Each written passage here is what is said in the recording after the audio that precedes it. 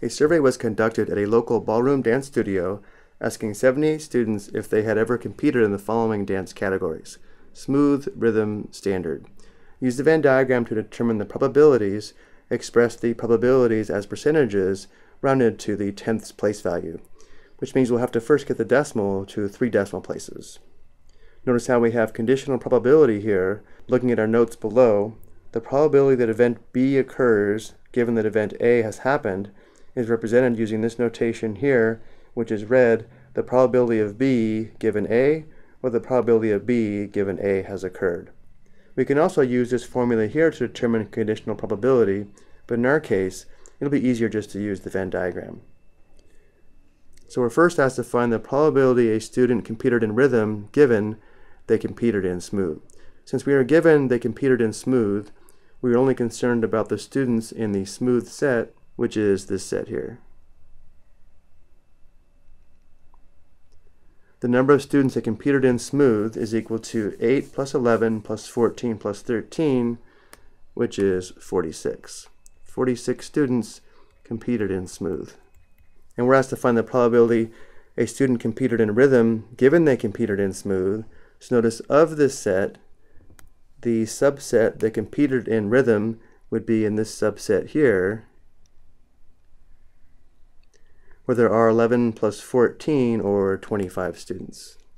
So of the 46 students that competed in smooth, 25 of them also competed in rhythm, and therefore the probability a student competed in rhythm, given they competed in smooth, is 25 out of 46, or 25 46. And now let's convert this to a decimal to three decimal places so that we can have the percent to one decimal place or the tenths. 25 divided by 46 is approximately 0.543, which is 54.3%. Next, we're asked to find the probability a student competed in rhythm given they competed in standard. So because we are given they competed in standard, we're only concerned about the number of students in the standard set, which is this set here, the number of students that competed in standard is equal to 13 plus 14 plus 4 plus 12, which is equal to 43. Because we're asked to find the probability a student competed in rhythm given they competed in standard, we need to find the subset of this set that competed in rhythm, which is this subset here.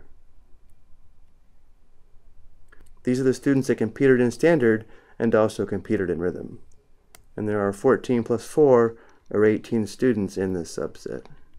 So again, because we're asked to determine the probability a student competed in rhythm given they competed in standard, the probability is equal to 18 out of 43 or 18 43rds. which is approximately 0.419, which is equal to 41.9%. Next, we're asked to find the probability a student competed in standard given they competed in rhythm. So we're only concerned about the students that competed in rhythm, which are in this set here. Eleven plus seven plus fourteen plus four is equal to thirty-six. So we know thirty-six students competed in rhythm.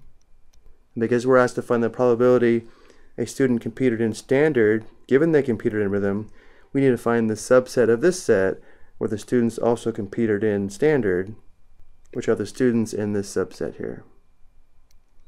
These students competed in rhythm and also competed in standard. And 14 plus 4 is 18, so we have 18 students in this subset.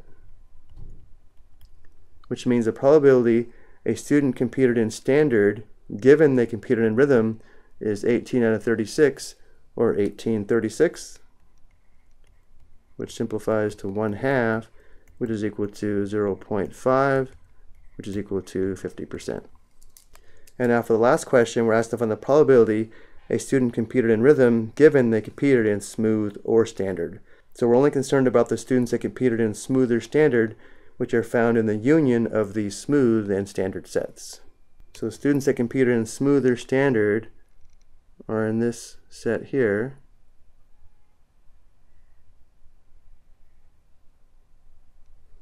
And there are 8 plus 11 plus 14 plus 13 plus 4 plus 12 students in this set, which is equal to 62 students.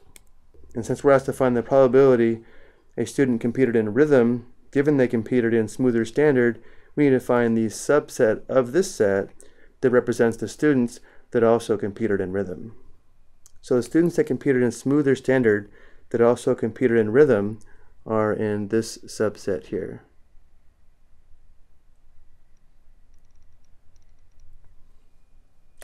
Eleven plus fourteen plus four is equal to twenty-nine.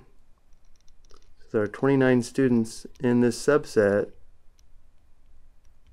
These are the students that competed in smoother standard and also rhythm, which means the probability a student competed in rhythm, given they competed in smoother standard, is 29 out of 62, or 29 60 seconds, which is approximately 0.468, which is equal to 46.8%. I hope you found this helpful.